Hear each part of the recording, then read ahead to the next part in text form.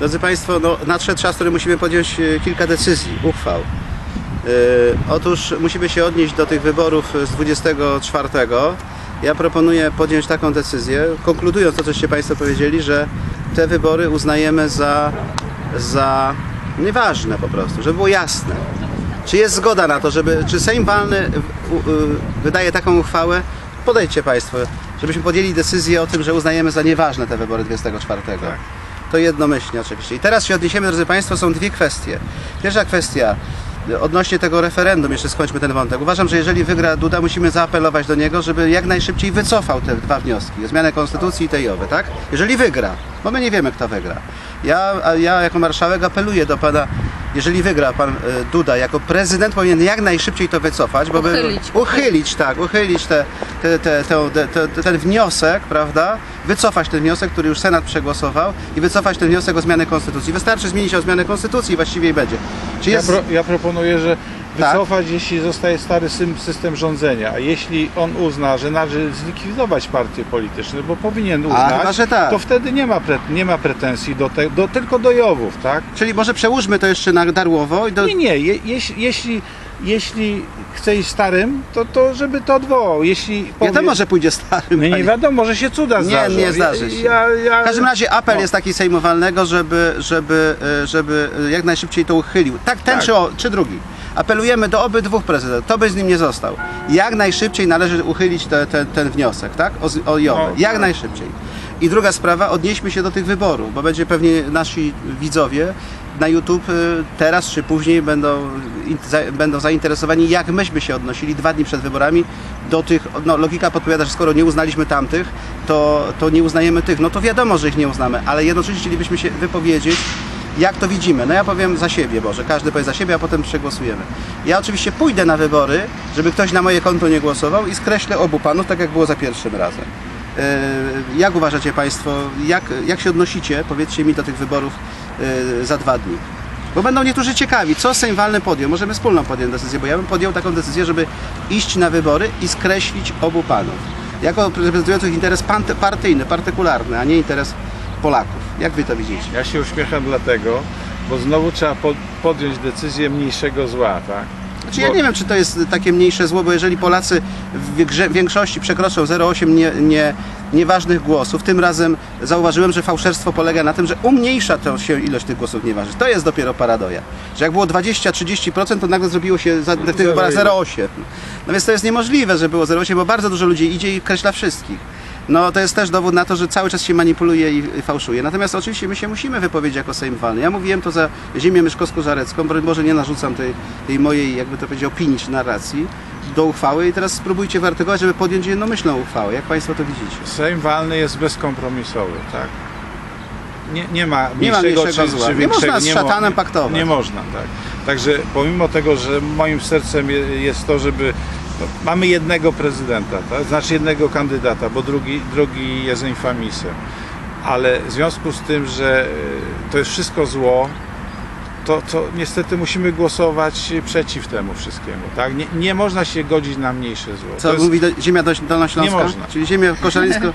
Mówi Beata Andreas, ja e, konsekwentnie bojkotuję te wybory. E, bojkotowałam czynnie. To na jedno wychodzi Poszłam oczywiście. do, nawet do lokalu wyborczego, tam nakręciłam film. Tak było, tak. Coś, E, próbowano wezwać Czyli, policję. czyli ten głos jest w jakimś sensie nieoddany, nie jest to głos nieważny tak jak nasz, ale efekt jest ten sam. Nie nie głosuje Pani na żadnego. zarejestrować się e, po prostu. Czyli nasza Nie rekomendacja... odebrałam karty do głosowania. Rozumiem. I w związku z tym no, bojkot był pełen i to samo zrobię w niedzielę, y, czyli po prostu nie będę głosować.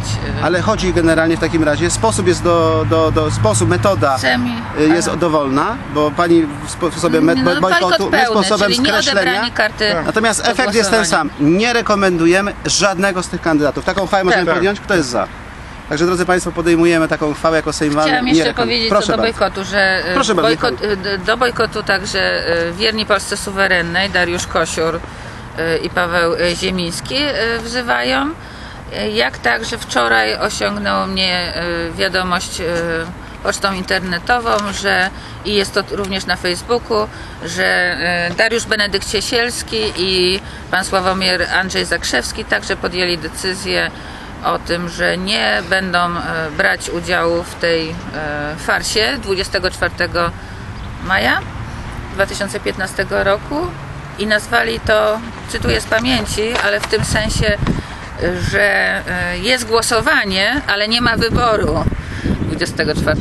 Dziękuję. Super. Drodzy Państwo, teraz coś jeszcze Pan Cezary chciał powiedzieć? Ja teraz przejdę znowu już na konkluzję, bo powoli musimy zamykać. Drodzy Państwo, musimy podjąć decyzję, czy powołujemy uchwałą Sansetem Komisję Obrony z regimentarzem na czele. Czy, czy mam zagajać, czy jesteśmy w stanie, czy mam coś zagaić? Chodzi o to, żeby nasz Sejm powoli się otaczał pewnymi komisjami, które zająć się map sektorowo. To nie jest odpowiednik e, e, Sejmu na Wiejskiej, gdzie tam są ministrowie później jako organ wykonawczy. My musimy mieć organ wykonawczy bardziej związany z tradycyjną tradycją. Znaczy w naszej tradycji byli regimentarze, byli hetmani i my musimy powoli do tego nawiązać. Musimy stworzyć komisję obrony, bo już są takie jak, y, są takie y, głosy, że powinniśmy mieć taki organ, czy szykować taki organ wykonawczego, żeby powołać komisję obrony, która ma się zająć problemem obronności. Szefem tej komisji będzie regimentarz, bo w Konfederacji nie był to hetman, tylko ko- regimentarz. I musimy już, jeżeli przegłosujemy, to nawołujemy kogoś, kto się zajmuje problematyką militarną obronności, żeby ewentualnie starać się aplikować o to stanowisko. Nie powołamy w tej chwili przewodniczącego, no bo nie mamy kandydatów póki co, ale staramy się znaleźć. Także czy jest zgoda na powołanie Komisji Obronności? O, tak. To, powo- to podnosimy. Jednomyślnie, drodzy Państwo. Ta komisja została powołana dzisiaj w Trzebnicy. Druga sprawa, czy powołujemy Komisję Rady Stanu z, rad, z Radą Stanu? Znaczy Komisja Rady Stanu to jest komisja, która ma się zająć, znaczy to ma być organ z kolei, który ma pilnować polskiej racji stanu. Nie ma tego odpowiednika, prawda? Co mówiliśmy o tym rzeczniku interesu, ale rad, radcowie stanu, bo to będzie kolegialny organ, ma zająć się, każdy z tych radców ma zająć się, znaczy ma pilnować polskiej racji stanu. Czyli nie ma być to tak jak dzisiaj minister, który ma w domniemaniu zajmować się polską racją stanu, tylko wręcz w nazwie będzie radca stanu, to znaczy ten do spraw tych i tych, prawda? Ale to będzie w, w, w formule radca stanu, a nie w formule minister. I ja po, proponuję powołać komisję, która e, radców stanu, która ma zająć się znowu sz- szukaniem takich radców stanu. Może ja to trudno mówię, ale wiecie o co? Komisja Rady Stanu, która ma zająć, która ma szukać przewodniczącego i innych radców stanu, którzy mają reprezentować interes racji stanu Rzeczypospolitej. Mówię to skomplikowanie, ale sprawa jest dosyć prosta. Dokładnie, a nie partyjny. A nie partyjne, więc czy jest, jesteśmy za tym? Tak. Tak, powołaliśmy w Trzebnicy Komisję Rady Stanu. I trzecia komisja, trzecia komisja, którą proponuję, Skarbu. Tutaj przewodniczący prawdopodobnie będzie podskarbi, ale nawiązujący, czyli ktoś, gdzie odpowiednik e, e, ministra skarbu, prawda, ale podskarbi będzie troszkę odseparowany od stanowiska rachmistrza, którego być może powołamy, czyli księgowego. Y, prze- Rada, Rada, znaczy y, Komisja Skarbu ma pilnować skarb majątku naszego narodowego, to powiem po, po, po ludzku. Mamy określony majątek ktoś to musi pilnować. Ktoś to musi pilnować, dlatego musi być Komisja Skarbu, która ma pilnować, żeby nas te partyjne rządy nie okradały. I czy jest zgoda na powołanie Komisji Skarbowej, Komisji Skarbu, y, która zajmie się wybierze swojego przewodniczącego, który będzie pilnował naszego skarbu, czyli majątku narodowego. Czy jest zgoda na to? Tak.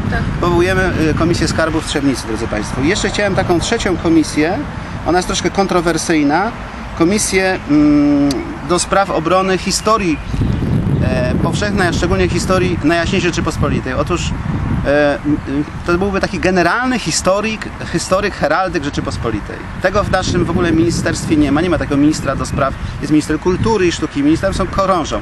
Ale nie, nie, ma, hi- y, nie ma komisji która, historycznej, która by wybrała przewodniczącego, który ma bronić prawdziwej historii Rzeczypospolitej.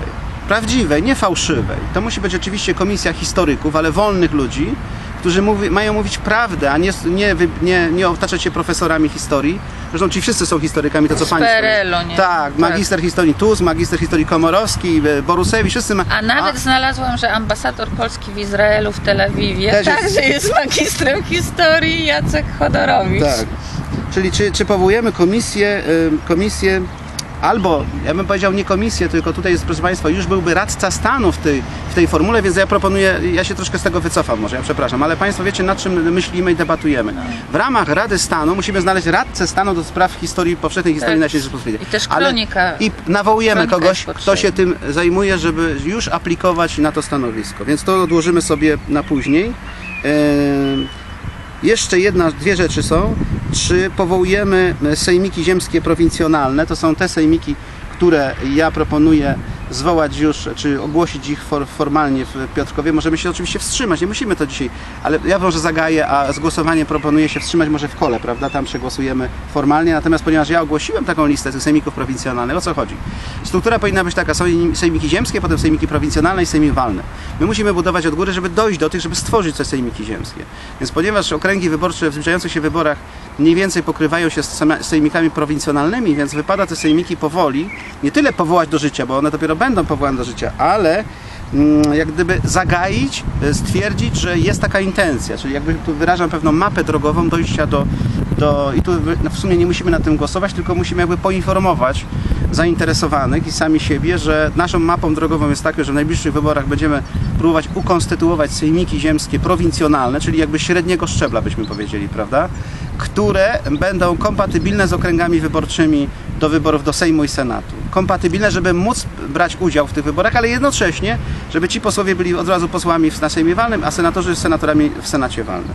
Więc to jest takie zagajenie moje.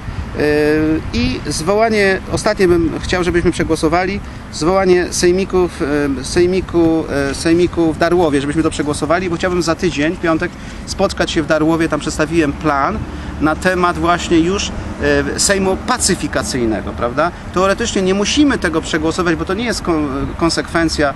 Mamy tak krótko mówiąc dwa wybory. Albo zamykamy dzisiaj etap elekcyjny i zamykamy go i ten czwarta sesja się zamyka i tworzymy piątą sesję, albo tworzymy właśnie piątą sesję e, Sejmiku Pacyfikacyjnego. W naszej tradycji było tak, że, że zamykało się sesję elekcyjną Sejmem Pacyfikacyjnym. Natomiast ponieważ my nie mamy już w tej chwili kandydata, pan Brał już nie jest naszym kandydatem, innych też nie, ja uważam, że byłoby rozsądnie już sprawy elekcyjne dzisiaj zamknąć, a na Sejmie Pacyfikacyjnym już odnieść się, no bo ktoś tam z nich wygra z tych bolszewików, i odnieść się do problemu, jaki zaistniał po wyborach i uspokoić nastroje. To była rola Sejmu Pacyfikacyjnego. Czy byłaby na to zgoda, żeby już tę sesję czwartą zamknąć dzisiaj?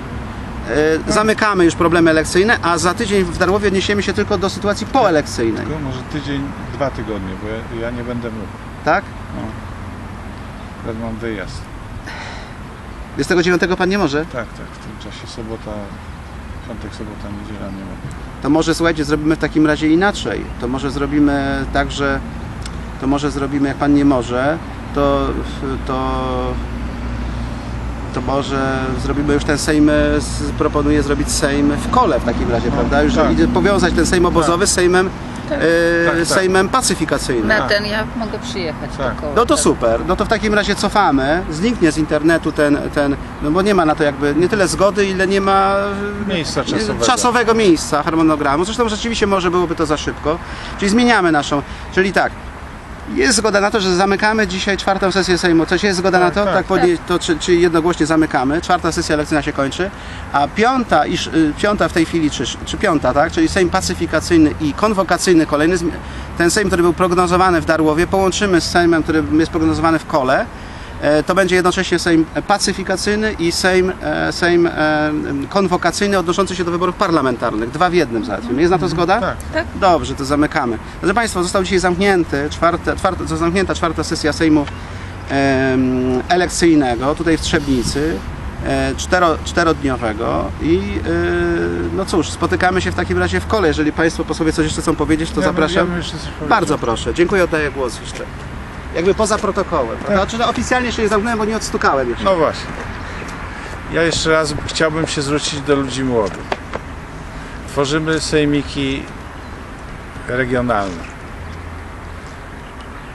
Do tej pory funkcjonujecie w różnych partiach, stowarzyszeniach i w większości przypadków niestety jesteście traktowani jako mięso armatne.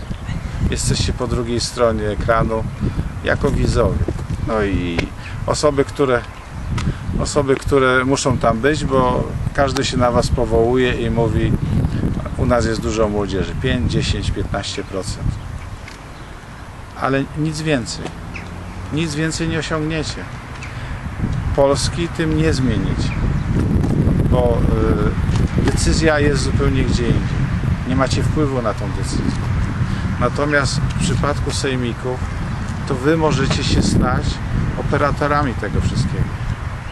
Wystarczy przyjść, wystarczy być wolny, wystarczy mieć trochę czasu, energii i mieć trochę oleju w głowie. To wy wszystko będziecie tworzyli. To wy będziecie tworzyli przyszłość. To nie tak jak do tej pory przez, przez wieki wam obiecywano, czy przez dziesięciolecia, żeby was wykorzystać. Tutaj to wy będziecie to wszystko realizować. Wasze pomysły wy będziecie realizować. Nikt nie stanie wam przeciw temu, że wy coś wymyślicie. Oczywiście musi być to yy, zbieżne yy, z, najjaśń, z, z najjaśniejszą Rzeczypospolitą w sensie yy, racji stanu. Tak? To musi, pewne rzeczy będą narzucone dla wszystkich, nie dla jednostek, to dla wszystkich. Bo polska racja stanu wymaga określonego działania i określonego podporządkowania dla wszystkich. I w ramach tego wszyscy możemy równo startować, równo się udzielać, równo, dzień dobry, przedstawiać swoje poglądy, swoje przemyślenia i, i realizować to wszystko. Ale to wy, nikt kto inny. Jeśli wy tego nie podejmiecie, to Sejm walny i to wszystko nie będzie miało sensu. Bo my nie podstawimy za to swojego wuja, swojego yy, kuzyna, swoich dzieci i tak dalej, i tak. To nie jest ten system. My nikomu nie chcemy tworzyć stanowisk, nie rozdzielać pieniędzy, nie mówić, że, że coś jest lepsze, coś jest gorsze. To tylko wy, jeśli przyjmiecie, to tak się stanie. Wasz głos jest najważniejszy. W ten sposób rzeczywiście możecie stać się hegemonami tej ziemi. Bo tu nie będzie partii, nie będzie kolegium, nie będzie oszustów, nie będzie bandytów, nie będzie złodziei. Y, Pomagać funkcjonować w ramach sejmiku i, i w układzie najjaśniejszej Rzeczypospolitej, rzeczy wspólnej, będzie się opłacało li tylko moralnie, li tylko społecznie.